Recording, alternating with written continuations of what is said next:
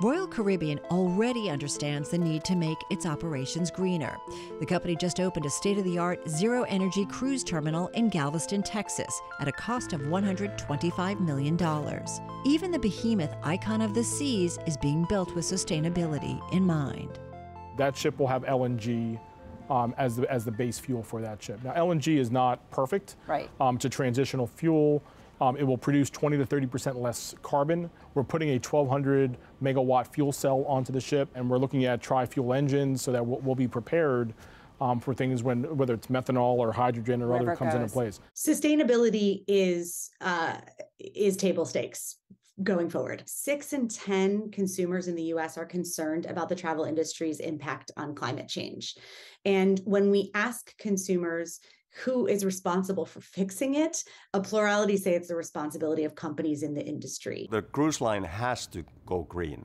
There is no other option because millennials are the biggest uh, group of consumers today already and in the future even more, and they are choosing those cruise lines that are sustainable. And, and there is no room for greenwashing in this area. It's one of our goals, right, to reduce our carbon intensity uh, by double digits by 2025. And innovation around the environment is something that the company has done for many, many years. I'll give you an, a quick example. Um, in um, the last couple of years, we've um, we wanted to reduce the waste of food on the ship. It's good for business. It's also good for the environment.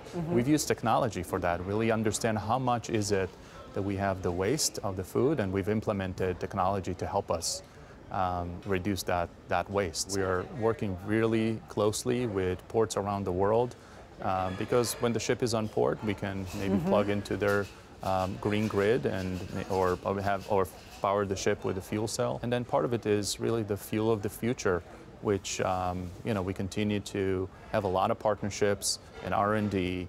Um, you know, as, as we as we continue that journey. So we're, we're, we're focused on it.